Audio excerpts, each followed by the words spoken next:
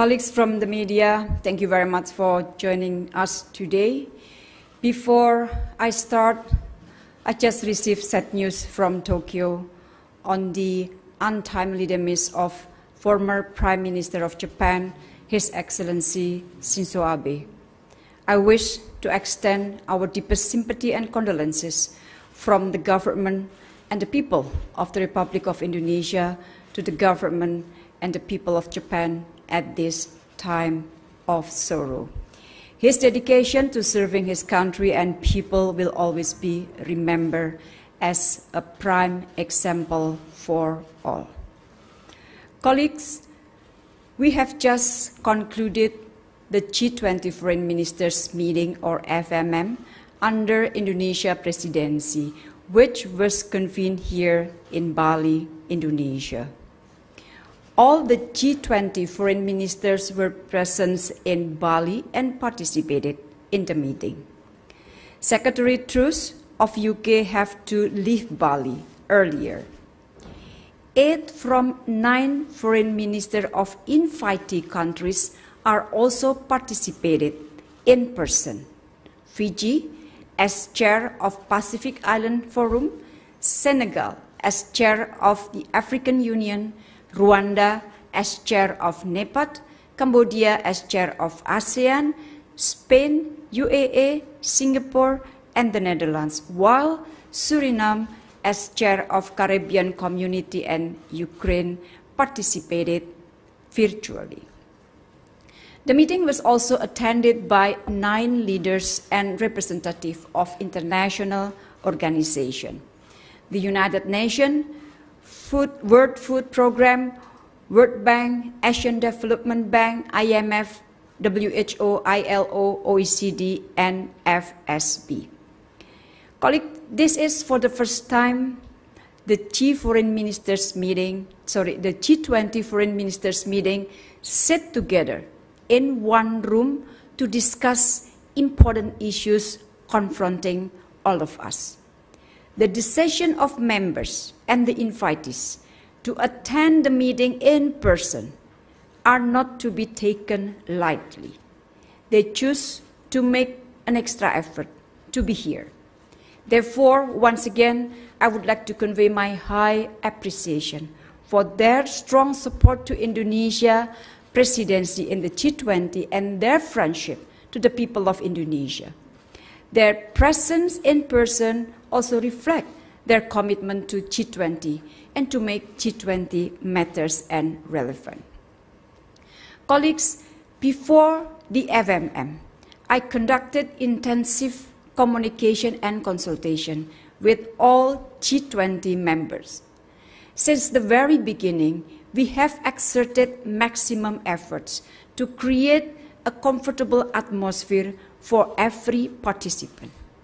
With this comfortable atmosphere, I hope participants could use the meeting to build bridges, not walls, strengthen trust rather than distrust, and commit to collaborate and be part of solution. Colleagues, the G20 FMM discussed two very important issues, namely strengthening multilateralism as well as addressing food and energy security. For the first session, foreign ministers were briefed by the UN Secretary General Antonio Guterres and Professor Jeffrey Sachs of Columbia University to gain insight on how to revive the spirit of multilateralism in addressing pressing global challenges.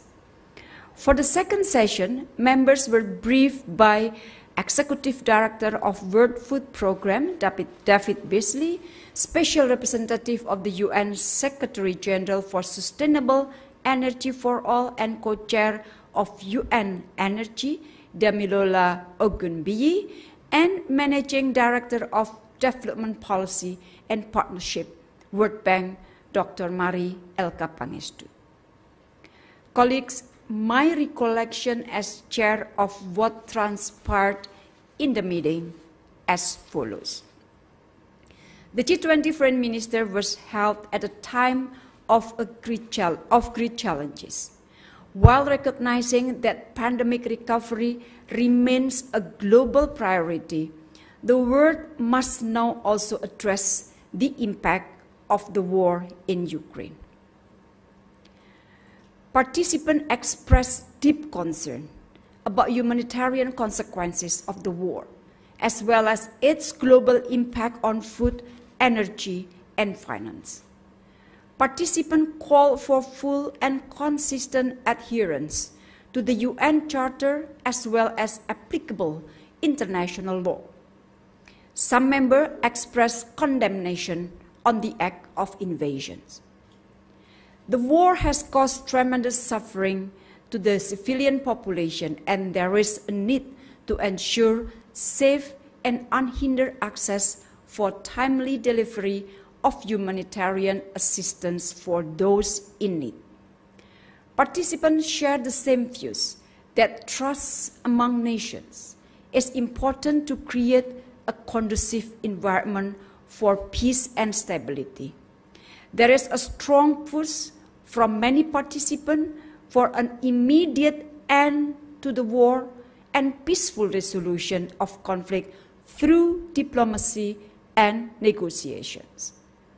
Concerns were raised that multilateralism is under threat and increasingly challenged to respond effectively global challenges. Participants agreed that there is an urgent need to strengthen multilateralism multilateralism remains the best way to resolve global challenges. Cooperation in pandemic response, including in ensuring equitable access to vaccine, is one of multilateralism success story.